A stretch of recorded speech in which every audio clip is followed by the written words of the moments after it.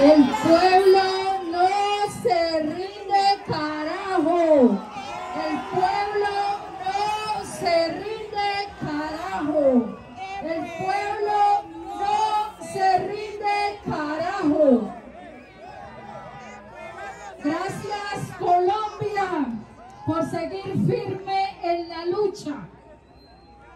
Saludamos desde aquí en la Plaza de Bolívar a todos los colombianos y colombianas que salieron a respaldar lo que disputaron en las calles al gobierno popular, al gobierno del pueblo, al gobierno de la gente de las manos callosas.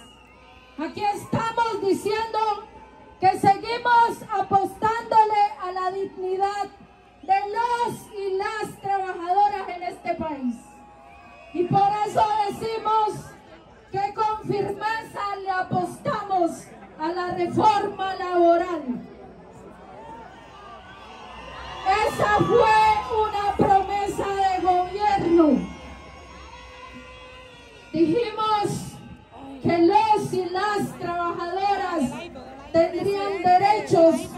Colombia. Derechos a un empleo digno. Derecho a ganar un salario digno y poder llevar alimentos a su casa. Poder sostener a sus familias. Y lo estamos cumpliendo con la reforma laboral que le presentamos al Congreso. Dijimos en campaña que los colombianos y colombianas tendrían derecho a una salud que no les permita seguirse muriendo en los hospitales.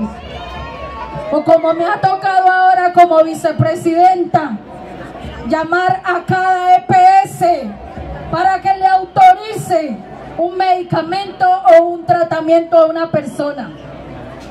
Eso no debería estar pasando. Porque claro, yo llamo a los que tienen cercanía y a los que pueden llegar a mí. Pero y el resto de los millones de colombianos y colombianas que no tienen salud, que no tienen un hospital. ¿Qué hacemos con ellos? ¿Los dejamos morir?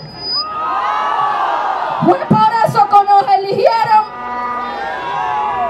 Ustedes nos eligieron para que hiciéramos del el, la salud un derecho fundamental y no un negocio. Y en eso estamos trabajando.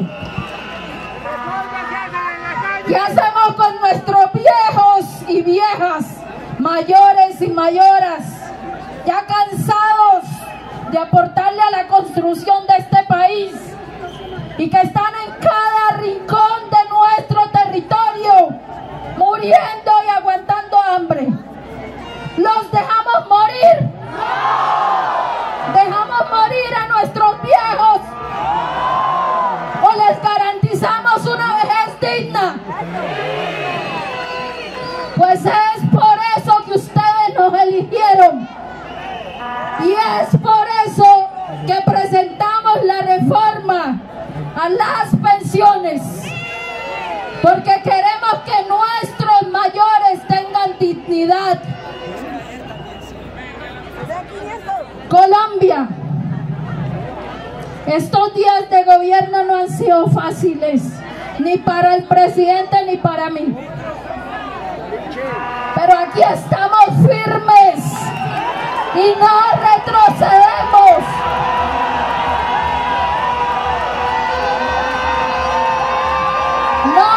No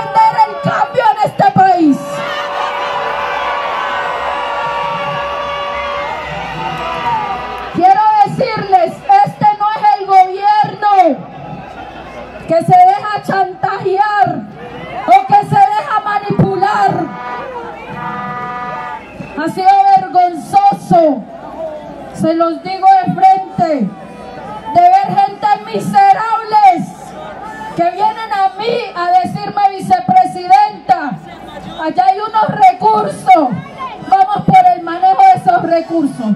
Pues no, pues no.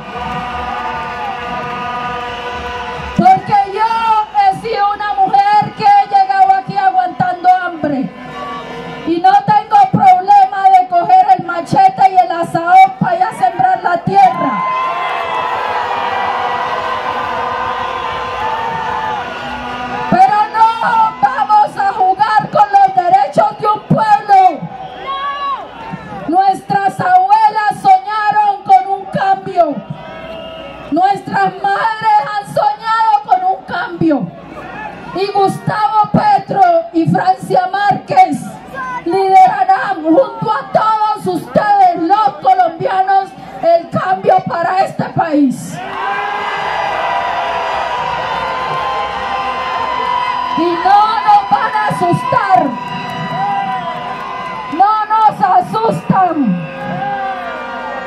con las mentiras que le quieren mentir al pueblo algunos medios de comunicación.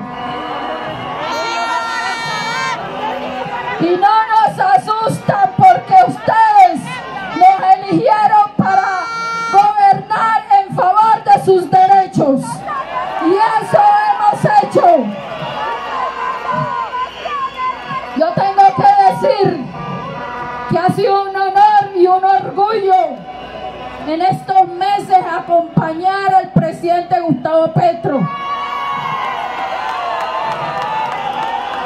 No ha pasado un día en que no lo vea discutiendo al interior de nuestro gobierno por la justicia social, diciéndole a los ministros y ministras, aquí el poder es del pueblo y eso es lo que le vamos a dar al pueblo.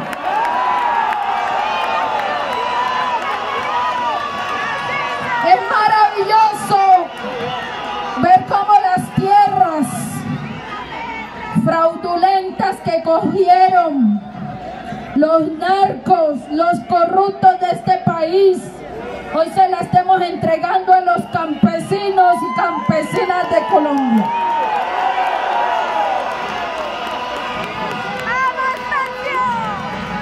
Es maravilloso ver que cuando la juventud sale a la calle, no vemos a nuestra fuerza pública apuntándole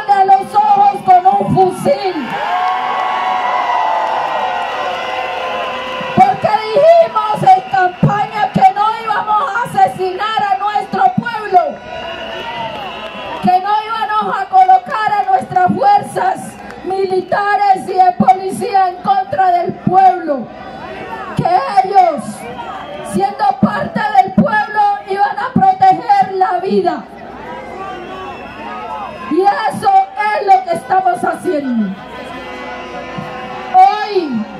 en esta plaza, presento a Colombia que nace una nueva institucionalidad. Nace el Ministerio de la Igualdad y la Equidad.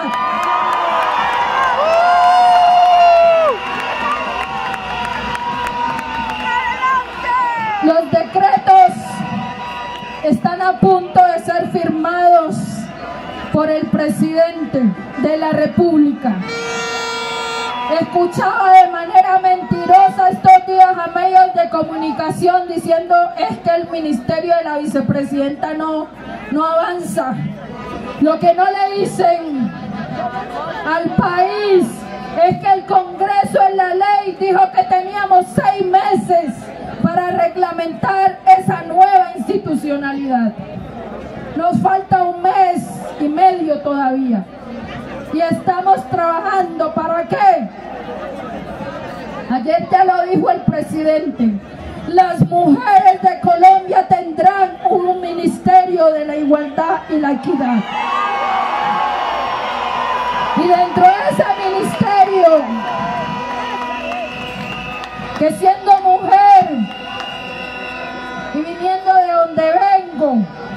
Porque yo no llegué aquí con corrupción. Yo no llegué aquí recibiéndole plata a narcotraficantes, como lo han hecho en otros gobiernos.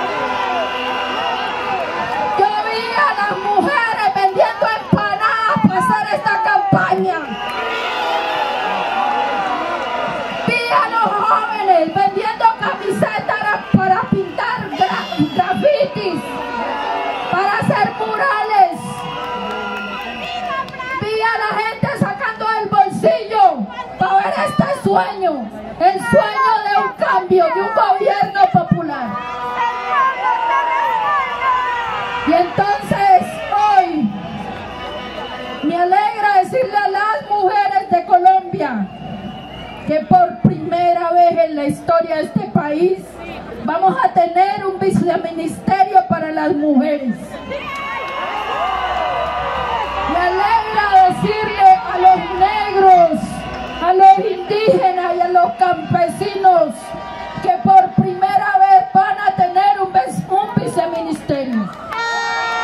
Me alegra decirle a la juventud de Colombia que por primera vez los jóvenes, los jóvenes que antes solo se les tenía en cuenta para que fueran a hacerle campaña a los políticos, a los partidos tradicionales y solo los tenían en cuenta para darle bolillo, para sacarle los ojos cuando salían a protestar. Hoy la juventud colombiana tendrá un viceministerio en el Ministerio de la Igualdad y la Equidad. Pero también una población históricamente excluida y marginada, como son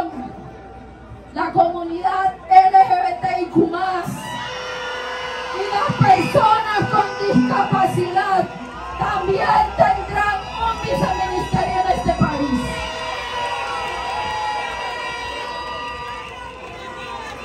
Vamos a hacer que la igualdad y la equidad se haga costumbre en este país.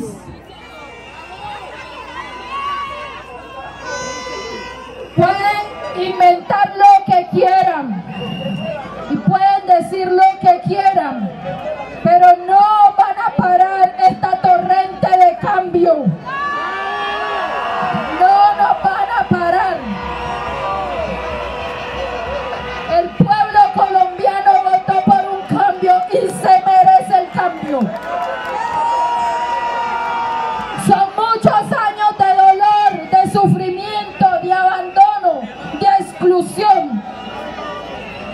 Ahora me dicen que mantengo en montar en helicóptero.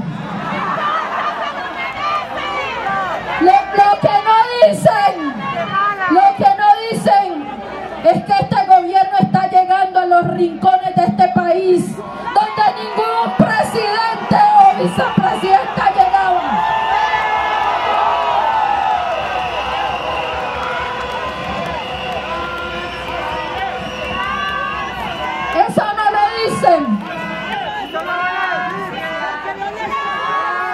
A mí me pueden cuestionar por todo lo que quieran, pero jamás esperen de mí la corrupción. Jamás esperen de mí la tiranía. Jamás esperen de mí irme en contra de los derechos del pueblo colombiano.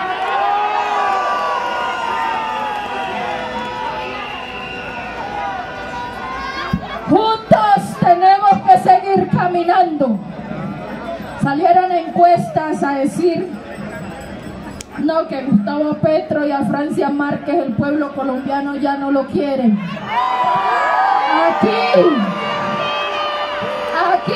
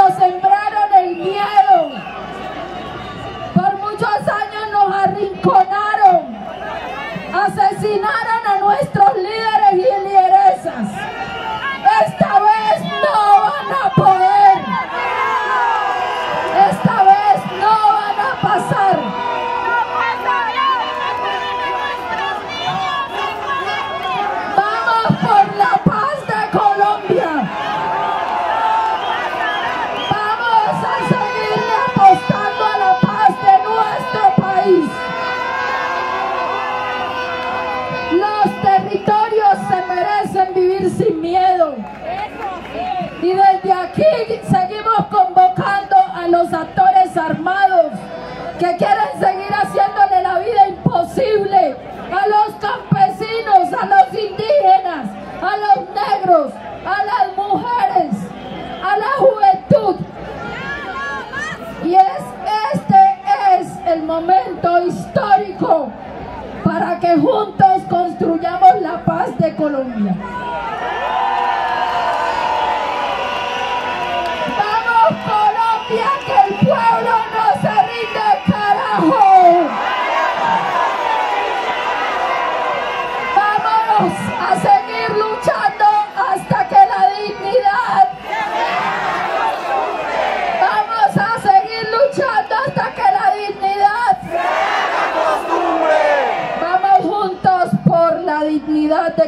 Gracias Colombia.